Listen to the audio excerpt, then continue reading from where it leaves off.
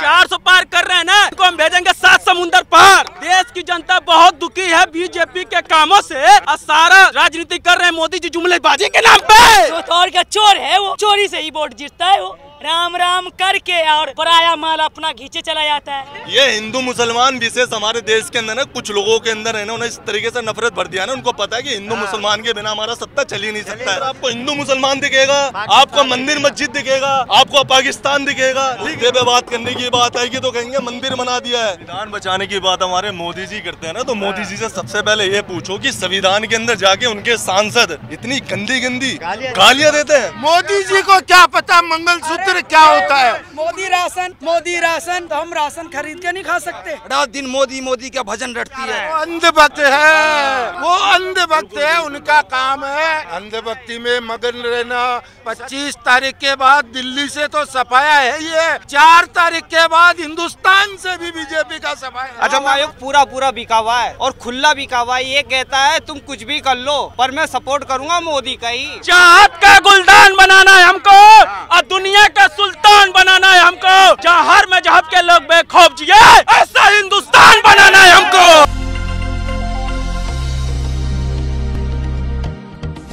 क्या कहेंगे सर मैं इतना कहना चाहूँगा कि 10 साल में कह रहे ना मोदी ने देश को आगे बढ़ा दिया। बहुत आगे बढ़ा दिया। युवाओं को बेरोजगार कर दिया। महिलाओं का रोज़गार नहीं। महिला सुरक्षित नहीं। और जो देश में हमारे में महँगाई है महँगाई बिल्कुल भी कम नहीं। तो इतना काम मोदी ने जो किया है वो कम नहीं है बहुत बड़ा काम कर दिया। अब इसके अलावा लोग कहते हैं कि मोदी ने देश बेच दिया।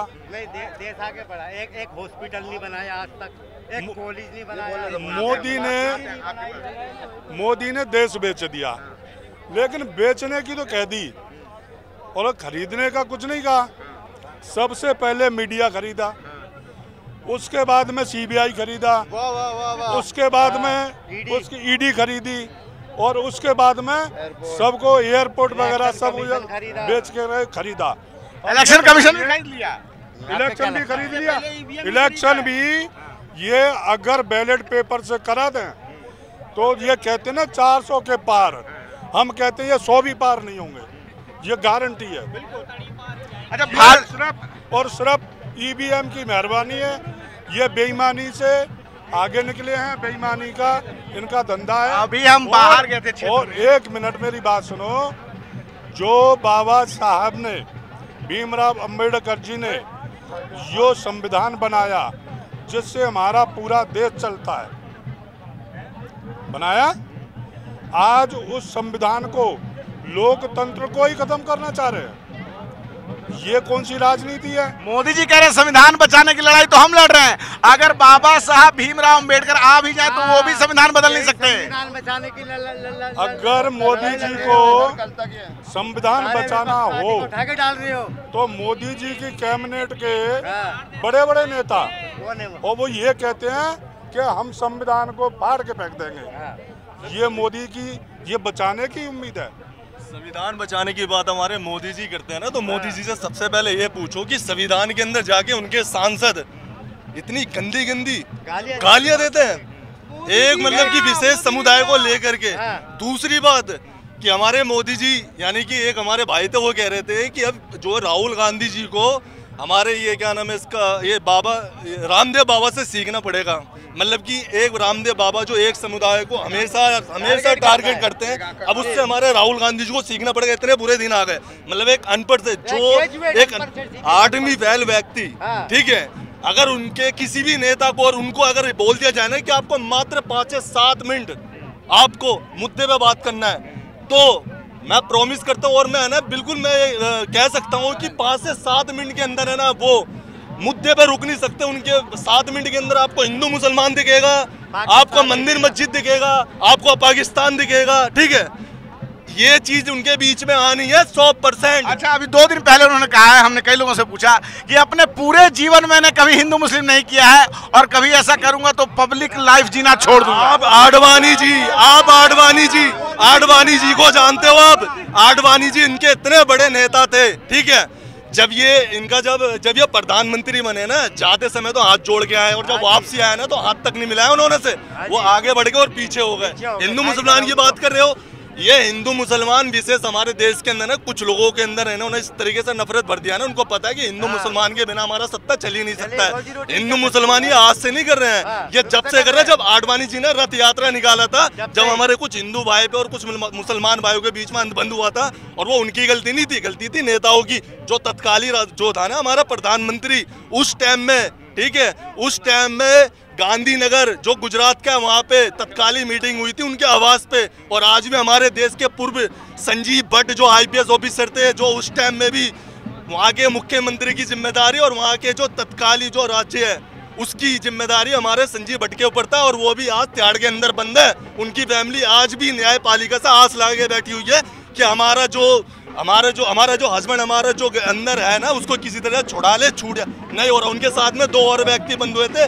उनको बेल मिल गया, बाहर है। ये इस वजह से अंदर है, क्योंकि उन्होंने डायरेक्ट मोदी पे हमला किया था सुप्रीम कोर्ट के अंदर, और उस बेचारों को उस केस में अंदर डाल देगा, जिस केस के अंदर उस टाइम तत्कालीन गृह मंत्री अमित शाह जी सरकार उनको बाइज्जत बरी कर दिया गया था, ये बोल करके इनमें इनका कुछ और वो भी ऐसा कस्टडी केस था, जिसके अंदर वो व्यक्ति कभी उनकी कस्टडी में था, उसके बाद दूसरी कस्टडी में चलेगा न्यायिक संजीत जाके किसी टीम के कस्टडी में था, ना उनकी कस्टडी में था, उस कत्ल में उनको आज तक अंदर डल रखा है, डाल रखा है। तो हमारे जो जो हमारे तत्कालीन जो प्रधानमंत्री है ना, उनका यह है कि भैया हिंदू मुसलमान करवाओ और सत्ता पे राज करो। मुद्दे पे बात करने की बात आएगी तो कहेंगे मंदिर बना दिया है। मुद्दे पे बात करने की बात आएगी तो कहेंगे कि हमने जो है कि मतलब काम आप जानते हो ना तो अब कहने का मतलब ये है कि देखो लो एक्ट एक्टर जो अभी बॉन्ड फटा था ना इलेक्ट्रिक बॉन्ड उसके अंदर हमारे देश के अंदर 300 आईडीएक्स तीन सौ आईडीएक्स एक गाड़ी के अंदर फटा ना फटा। कश्मीर जैसे शहर के अंदर जो हर दो किलोमीटर दूर में चेक पोस्ट लगा हुआ है ठीक है? वहाँ पे 300 सौ गया कैसे?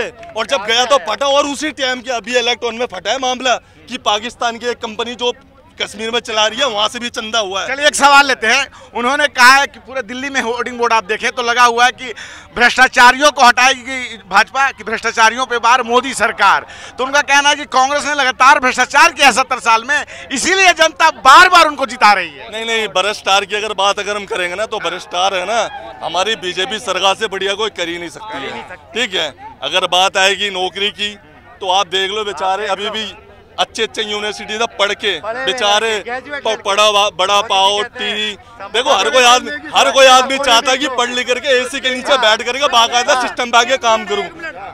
भाई मोदी जी ने जिससे हाथ मिलाया अमेरिका जाके मिलाया अमेरिका वाला हिलाया छोड़ दिया चाइना वाला गया वहाँ से हरा दिया मोदी जी ने जिससे हाथ तो मिलाया तो मैच में गए तो मैच हराया। और जहाँ मर्ज़ी जा रहे हैं ना वो बंदा हार ही रहा है जिससे हाथ मिला रहे हैं।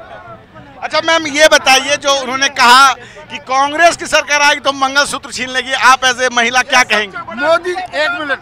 मोदी जी को क्या एक मिनट। मोदी मोदी जी को क्या पता मंगलसूत्र क्या होता है? उन्होंने योगी जी योगी जी भी कुआरे। योगी जी भी कुआरे मोदी जी भी कुआरे। उन्होंने अपनी बहन की माँ बहन का क्या मंगलसूत्र देखा? जब वही कुआरे हैं तो मंगलसूत्र का क्या मतलब समझेंगे वो? मंगलसूत्र वो बोल रहे हैं कि मैंने देश जो के लिए जो है देश की सेवा के लिए पूरा घर छोड़ा है परिवार छोड़ा है तो क्या गलत किया उन्होंने? क्या गलत गलत किया है। सेवा तो कर नहीं सके घर की सेवा कर नहीं सकते आप घूम रहे हो। तो इंग्लैंड आप घूम रहे हो वहाँ। तो क्या क्या समारा वो देश को भी क्या अपनी माँ को ही नहीं संभाल पाए तो देश को क्या संभालेंगे? बताओ अच्छे दिन कब आएँगे हमारे?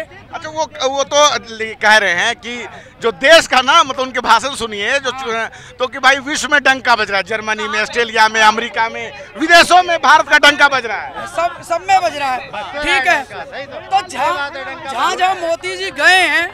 तो वहाँ क्या करके आए? आप बताओ। अपना रवैया दिखा के आए मैं वहाँ मिला मैं वहाँ मिला मैं वहाँ मिला मैं ऑस्ट्रेलिया गया वहाँ मिला। मैं डंका बजा के अपने घर आए और घर भी ना आए। योगी के पास जाके सो गए योगी आए मोदी के पास सो गए। ये तो भैया दोनों कुआरे हैं तो देश को क्या बचाएँगे? अपनी फैमिली को तो बचा लो। अरे डंका बज रहा है अगर हमने महँगाई को बहुत कम किया है आमदनी महँगाई कम किया है आमदनी बढ़ाई है। उज्ज्वला गैस योजना दी है स्टार्टअप योजना किया है। तो हमने देश के लिए काम किया है इसीलिए जो 135 करोड़ की जो जनता है वो उनके साथ है और तीसरी बार हम जीतेंगे। मोदी जो है देश के देश को बेच के खा रहे हैं। देश को भी एक खोखला कर दिया। तुम क्या बात कर रहे हो? जेवर में बेच दिया। जेवर में हवाई जहाज़ बेच दिया। लगेगा इनकी जेब में तो पैसा आ रहा है। सुनो सिलेंडर था मैंने अपने राज में आपको कब पता लगेगा मैंने अपने राज में चालीस रुपया का सिलेंडर खरीदा था। तीस रुपया का खरीदा था कभी। सन चौरासी में मेरी शादी हुई थी। अब लगा लो सिलेंडर की महँगाई कहाँ जा रही है? क्या राशन हम इतना खर्चा कर सकते हैं? मोदी राशन मोदी राशन तो हम राशन खरीद के नहीं खा सकते। हम राशन मतलब क्या वो उन्होंने क- वो कह तो रहे कि 25 करोड़ लोगों को हमने गरीबी से बाहर निकाला है। क्या लिखा रहा? है वो उनका आंकड़ा है जो उन्होंने जारी किया है कि हमने 25 करोड़ लोगों को भाई देखो कांग्रेस ने गाँव में ज़मीन गरीबों को दी घर दिए कांग्रेस ने। हम जो है चार हम जो है तीन बजे उठ के नहीं है मैं लंबन लगाती थी टूटी के ऊपर। कांग्रेस ने घर घर में टूटी लगाई। घर घर में पैसा दिया। घर घर में नाले बंद करे। क्या नहीं करा कांग्रेस ने? कांग्रेस के ही तो राज में ये भ्रष्टाचार किया कि नहीं? क्योंकि दिल्ली में पूरा होर्डिंग बोर्ड लगा हुआ है कि भ्रष्टाचार पे वार मोदी सरकार कांग्रेस आएगी तो फिर से भ्रष्टाचार होगा। नहीं होगा। नहीं होगा। मोदी ने किया सबसे ज़्यादा भ्रष्टाचार। इस देश में अगर भ्रष्टाचार भ्रष्टाचार आप मुझे बता दीजिए भ्रष्टाचार क्या था? इंटरनल बोर्ड का भी भ्रष्टाचार हुआ है। बीफ कंपनी से चंदा लिया है। बीफ कंपनी से चंदा लिया है पाकिस्तान की एक कंपनी से चंदा लिया है। उसके बारे में तो मीडिया दिखाएगी नहीं। ये बोर्ड लगाने से क्या होता है? बोर्ड लगाने से कुछ नहीं होता। वो जो बोर्ड लग रहे हैं ना वो भी जनता के ही पैसों से लग रहा है। जीएसटी बढ़ाया जा रहा है कुछ नहीं। 400 पार तो 400 पार में बता रहा हूँ क्या होगा? पच्चीस मई बीजेपी गई। 25 मई बीजेपी मई बीजेपी गई। दिल्ली से पार्टियाँ साफ़ याद रखना। लेकिन भाजपा के समर्थक जो हैं बाहर कुछ लोग कह रहे हैं कि फिर से सातों सीट पे आ रहे वो हैं अंधभक्त है। वो अंधभक्त है उनका काम है अंधभक्ति में मगन रहना। सच्चाई जो है ना वो आंकड़े अभी आपने राहुल गांधी जी को सुना। लोगों का आक्रोश देखा कैसे जन सैलाब उनकी तरफ़ उतर के आया है। तो ये तय है 25 तारीख के बाद दिल्ली से तो सफाया है ये।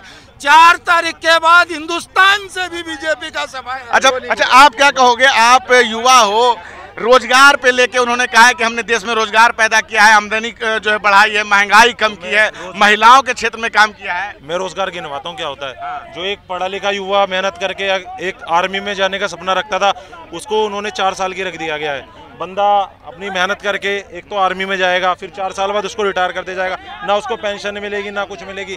ये ये तो आपका एक बहुत बड़ा रोज़गार है। देश के ऊपर पचपन लाख करोड़ का कर्जा था जब मनमोहन सिंह सरकार छोड़ के और जब मोदी जी को हाथ में देके गए थे कि आप अपने देश को संभाल लो। अब दो लाख पाँच दो दो लाख पाँच पाँच हज़ार करोड़ का कर्जा हो चुका है देश के अंदर। ये बहुत रोज़गार हो गया है।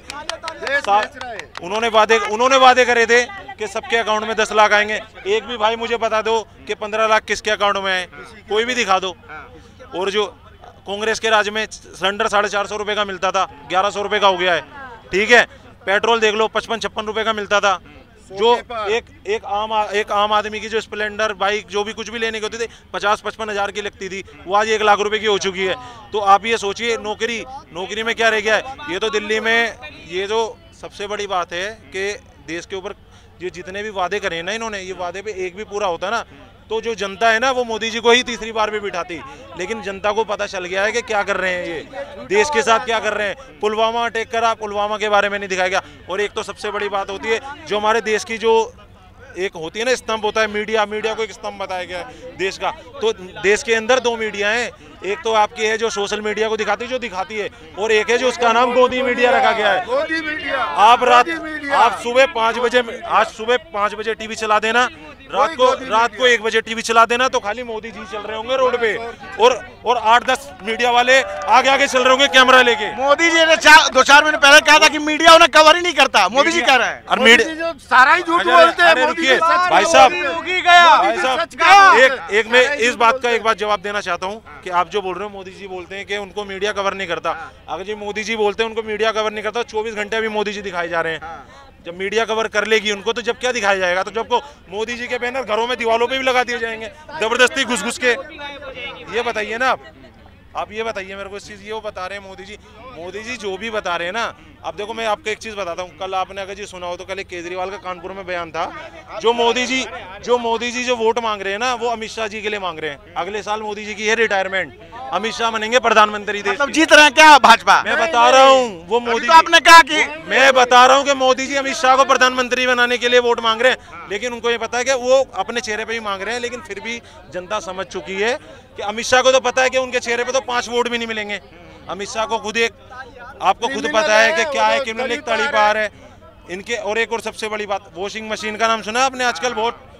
चर्चा में चल रहा है वॉशिंग मशीन। जितने भी बहुत बड़े भ्रष्टाचारी नेता हैं जो अभी आम आदमी में आ जाएँगे कांग्रेस में आ जाएँगे तो ईडी सीबीआई आ जाएगी। केजरीवाल ने दिल्ली के अंदर स्कूल सुधार दिए अस्पताल सुधार दिए। तो शराब घोटाले में उसको फंसा के जेल में डाल दिया। चलो ठीक है। हेमंत बिस्व शर्मा वहाँ आसाम का सीएम बना दिया गया। वो इतना बड़ा घोटाला करके बैठा है, वो कहाँ था? वो कोई नहीं बताएगा। इनका कुछ कानून नहीं है। एक तो सबसे बड़ी बात है इनको सरकार सत्ता में आना है और सत्ता में ही आ नहीं पाएँगे। संविधान बचाने की लड़ाई लड़ रहे हैं भाजपा वाले। युवा ये जो युवा भाजपा के लोग कह रहे हैं कि हम लोग संविधान बचाने की लड़ाई लड़ रहे हैं। संविधान बचा तो रहे संविधान मिटाने की बात कर मिटाने की बात कर रहे वन नेशन वन इलेक्शन बचा नहीं अच्छा आप मेरे को एक चीज़ बताइए। वन की बात कर रहे वन नेशन वन इलेक्शन क्या होता है? इनका जो संविधान अगर जी संविधान ये बचा रहे हैं तो वन नेशन वन इलेक्शन क्यों कर रहे हैं? संविधान में तो ये लिखा नहीं। संविधान में ये लिखा है कि भाई साहब हर आम नागरिक को बोलने की हिम्मत चाहिए। हर किसी को संविधान पावर देता है। मुझे भी आपको भी एक पुलिस ऑफिसर को भी। चलिए हमने आपसे बात की से। कि आप बहुत देर से खड़े क्या क्या कहना चाहते हैं आप? ये कांग्रेस की सरकार आ रही है मोदी जी की सरकार आ रही है किसकी सरकार आ रही है? अगर ईमानदारी से अगर वोट हो ना हाँ। तो मोदी सरकार को सौ सीट भी नहीं मिलेगी। सौ सीट भी नहीं मिलेगी। सीट भी नहीं मिलेगी भाई साहब। ये मैं लिख के देता हूँ। पर ये चुनाव आयोग पूरा पूरा बिका हुआ है। और खुला बिका हुआ है ये कहता है तुम कुछ भी कर लो पर मैं सपोर्ट करूँगा मोदी का ही। आपने चुनाव आयोग पे ही पूरा प्रश्न चिन्ह लगा दिया। प्रश्न चिन्ह क्या हकीकत ही वही है। अब ये जो यहाँ का हमारा केजरीवाल का जो वो है एलजी वो कहाँ का है? बीजेपी गुजरात का एलजी है। जब दिल्ली को केजरीवाल चला रहा है तो एलजी भी दिल्ली का ही होना चाहिए। मोदी ने एलजी कहाँ का बैठा है गुजरात का। यानी कि इन्होंने जितने भी बैठाए सारे अपने ही बंदे बैठा जिसकी सरकार रहती है वो अपने आदमी को बनाता है। ये तो हर सरकार में होता है। जज ने क्या कहा था? पर इन्होंने रातों रात कानून पलटा है, क्योंकि सीजीआई ने ये कहा था, एक हमारे यहाँ का जज होगा और एक विपक्ष का होगा और एक केंद्र का होगा। पर इन्होंने रातों रात कानून पलटा है, इन्होंने कहा नहीं तो हमारी पार्टी का होगा और एक विपक्ष का होगा। तो एक आदमी का तो चलता नहीं तो उधर से दो बारी है तो इसलिए अपनी मर्ज़ी का बैठा देते हैं। तो अब गुंडा है कि शरीफ है, ये बाद में लोगों को पता लगता है। एल कोई शरीफ नहीं है। आज जब से केजरीवाल बंद हुआ कितने प्राइवेट बच्चों को स्कूलों से निकाल दिया गया है। क्योंकि पता था कि अब केजरीवाल एक्शन ले ले नहीं सकता। बहुत बच्चों को निकाल दिया गया अगर ये मोदी अब की अच्छा एक एक सवाल आप बता दो। उन्होंने कहा है दो दिन पहले कहा था कि हिंदू मुस्लिम मैंने पूरे जीवन में कभी नहीं किया। आप इसको इस बयान को कैसे देखती हैं? क्यों? हमेशा हिंदू मुसलमान में लड़वाना चाहा है मोदी ने। हैं मोदी को लड़वाने के अलावा है क्या? देश के अंदर मोदी चोर है तो चोर को चोरी करने में कोई गुनाह है? गुनाह है तो करता रही है। मोदी चोर हैं। तो, तो और क्या चोर है वो? चोरी से ही वोट जीतता है वो। लेकिन वो तो नहीं नहीं। नहीं नहीं नहीं वो कह रहे हैं कि 140 करोड़ की जो जनता है वो उनका परिवार है हिंदू मुस्लिम सब उनको प्यार करते हैं राहुल गांधी अच्छा है देश के लिए। हीरो। है लाखों में करोड़ों में एक है। राहुल गांधी के हीरो है। इसलिए कि देश का भला सोचता है मोदी बुरा सोचता है। राम राम करके और पराया माल अपना घींचे चला जाता है। अरे वो कह रहे हैं कि हम भ्रष्टाचार हटा रहे हैं। हमने ग- गरीबों को जो है धन दिया है। खा दिया और मुसलमान को उसमें दबा दिया। यही ना हो रहा लड़वाने की सिवा हिंदू सोचता है कि मेरे लिए बाबा भग, भगवान तो हमेशा के लिए था। राम तो आज उठ के नहीं आ गया धरती पे आया है। चाहे किसी का भी हो हमारा अल्लाह है तो है और जैसे मुसलमान का है। वैसी हिंदू का है। मगर आज तो देखा जा रहा है हमेशा देश में लड़वाने के अलावा कुछ नहीं किया मोदी पर वो तो कहते हैं कि हम पूरा जनता उनको प्यार करती है सौ मुसलमान से नफरत करता है मोदी। हाँ? मुसलमानों से नफरत करते हैं। हाँ? लेकिन वो तो कहते हैं कि मुसलमान को प्यार करते हैं हर जगह नहीं मुसलमान से प्यार करते है। क्या देश करता है? क्या प्यार करता है? क्या करता है? बताइए सर क्या बोल रहे हैं? ये तूफ़ान नहीं आंधी है और जिसका नाम राहुल गांधी है। राहुल गांधी आंधी है एकदम। सज धज के निकले अपने यार के लिए और कार लगा दी हमने राहुल तुम्हारे कार के पीछे। पलक को जीत है बिजलियाँ गिराने की और हमें भी जीत है राहुल तुम्हें प्रधानमंत्री बनाने की। अभी अभी हम बाहर घूम के आ रहे थे कुछ लोग मिले तो बोल रहे हैं कि सातों की सातों सीट हम जीत रहे हैं। ये सब मजमा चलता रहता है। चार सौ पार कर रहे हैं ना इनको हम भेजेंगे सात समुंदर पार। सात समुंदर पार। देश की जनता बहुत दुखी है बीजेपी के कामों से। और सारा राजनीति कर रहे हैं मोदी जी जुमलेबाजी के नाम पे। मोदी मोदी जी ने कहा कि हमारे नेतृत्व में पूरे विश्व में देश का नाम हो गया है। देश आगे बढ़ गया देश डंका बज रहा है विदेशों में। लश्कर भी तुम्हारा है सरदार भी तुम्हारा है और तुम झूठ को सच लिख दो अखबार भी तुम्हारा है और इस दौर के फरियादी जाए तो जाए कहाँ? कानून भी तुम्हारा ईवीएम भी तुम्हारा है। सर आप क्या कहेंगे? आप थोड़ा बड़ा अलग ड्रेस में आए हैं पूरा आपने तिरंगा रोंगा लगाया है। क्या कहेंगे? मोदी जी कह रहे हैं कि फिर से 400 पार हमारी सरकार भ्रष्टाचार पे बाहर एकदम लगातार लगे हुए हैं वो। अरे बार बार कुछ नहीं है उनकी जुमलेबाजी है। और ये पता क्या है? अब क्या नाम है? महँगाई है ना जो वो 400 तो पार होने वाली है। हाँ। जो राशन है ना 400 पार होने वाला है। हाँ जो बस का टिकट है 400 पार रेल का टिकट है 400 पार रामचंद्र जी कह गए सिया से ऐसा कल युग आएगा अपराधी दुराचारी भ्रष्टाचारी करेंगे प्राण प्रतिष्ठा। शंकराचार्य साधु संत महात्मा ताली बजाएगा। पूरा रट क्या है आप एकदम रट के नहीं आए हैं। मूड बना के आए हैं। मूड बना के आए मूड बना के आए हैं। ये जो बाहर जो लोग कह रहे हैं कि इस बार भी सातों की सातों सीट हमारी वो कौन है? वही है जिनको गोदी मीडिया इस देश को बर्बाद करने में जितना हाथ मोदी का नहीं है ना हाँ। उससे कहीं गुना ज़्यादा ये गोदी मीडिया का है ये मीडिया हाँ। जिसको संविधान ने फोर्थ पिलर बनाया हाँ। वो चंद नेताओं की दलाल बन के रह गई है हाँ। ये वही गोदी मीडिया है इसका विकास हुआ है ये वो मीडिया है दलाल मीडिया जो कल तक मनमोहन सिंह के पीछे पीछे माइक लेकर के रोड पे दौड़ती थी आज हेलीकॉप्टर से जाकर के न्यूज़ रिपोर्टिंग करती है। इसका विकास हुआ है। ये चंद रखेल बन गई है मीडिया। मीडिया फोर्थ पिलर नहीं रह गई है। ये चंद नेताओं की रखेल बन के रह गई। इससे अच्छा तो वो तवायफ है। उसका भी जमीर है। लेकिन इन मीडियाओं का जमीर भी आज मर गया है। पूरी तरह से खत्म हो गया मीडिया। मर चुकी है। ये कह तो दिया ना इससे बढ़िया वो तवायफ अमन बेच देंगे। और चमन बेच देंगे। ऐसे मीडिया सत्ता की दलाली करती रही तो एक दिन वतन को भी बेच देंगे। बाहर के लोग ये भी कह रहे हैं कि ये जो भीड़ है ना सब पैसे पे आई है। पैसे पे नहीं आई। ये जो भीड़ है ना जिस दिन राहुल गांधी निकला था पैदल यात्रा के लिए उस दिन राहुल गांधी ने किसी को बुलाया नहीं था। ये मोहब्बत थी राहुल गांधी की जनता के लिए जो जान, जनता राहुल गांधी के पीछे पीछे दौड़ी थी। और कभी भी ये देख लेना मोदी जी के पीछे पता कौन दौड़ती है? सिर्फ़ और सिर्फ़ एक ही है वो गोदी मीडिया। रात दिन मोदी मोदी का भजन रटती है। आम जनता नहीं आम जनता उसका नाम नहीं रटती है। अच्छा ठीक है एक बार में सब हाथ उठाइए कौन कौन पैसा से आया है? कोई ना आया कोई नहीं आया कोई हाथ नहीं उठाया। हम लोग जमीर वाले हैं। हम लोग जमीर बेचना नहीं जानते। मोदी वाले नहीं है जो पैसे से अरे, यहाँ से यहाँ यहाँ से जाने के प्यार सुनिए सुनिए सुनिए। चाहत का गुलदान बनाना है हमको। दुनिया का सुल्तान बनाना है हमको। जहाँ हर मज़हब के लोग बेखौफ जिए, ऐसा हिंदुस्तान बनाना है हमको। तो आपने देखा कि किस तरह से यहाँ के लोग जो है गांधी के प्यारे पागल है, उनको लाने के लिए बेकरार है। भाजपा अपना दम भर रही है कि हम सरकार बनाएँगे। और यहाँ की जो जनता है, जब वो मोदी सरकार कहती है कि चार सौ बार, लेकिन जब ज़मीन पे आते हैं, लोगों से मिलते हैं, बात करते हैं तो हमें सच्चाई पता चलती है कि मोदी सरकार के दावे कितने झूठे हैं। क्या है आपकी राय? आप अपनी राय कमेंट बॉक्स में ज़रूर लिखें।